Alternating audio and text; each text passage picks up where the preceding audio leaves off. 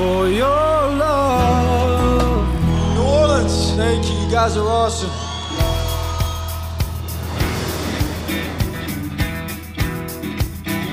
I'm sorry about your grandma, Josie. Hey, Liam. Hey, Dad. What a punch you socked me with yesterday. That was just a warning shot. So this is where you work. I own it. I actually did something with my life after you walked out. Hey, you. You're that country star my Mama listens to.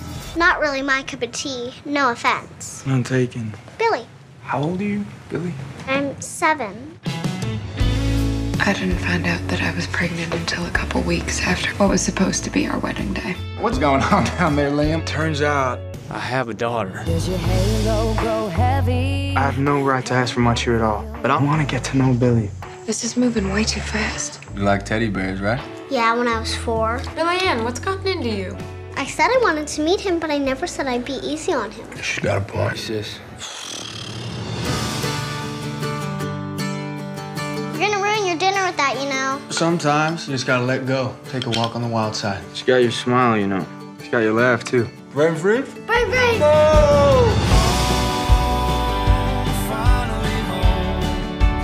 Nothing's gonna happen between us. I, I never said it was. Liam, you missed the whole concert. That's 20,000 fans wondering where Liam Page is. So you think you're ready to be a dad? Because you spent a couple weeks playing house? I'm not sure how long I'm gonna be here for. What happened to you?